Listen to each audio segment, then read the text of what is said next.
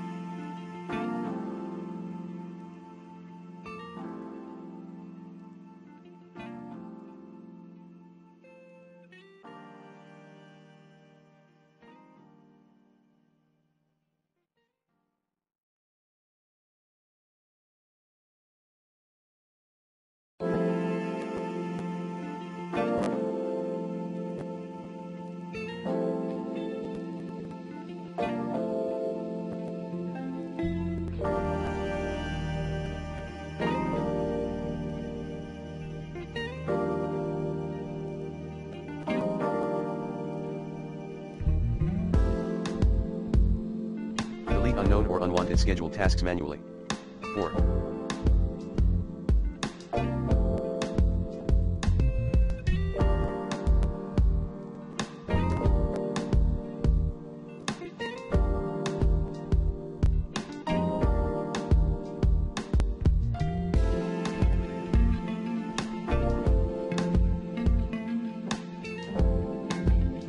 Run a malware check using the recommended Avast Internet Security in this video guide.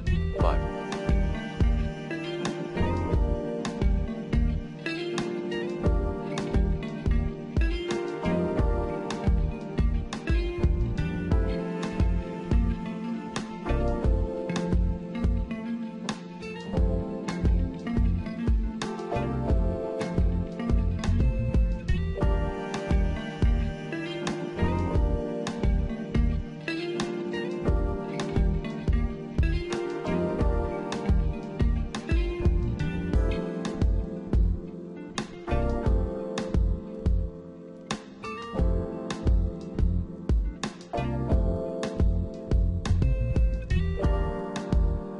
Reset the browser settings in Chrome.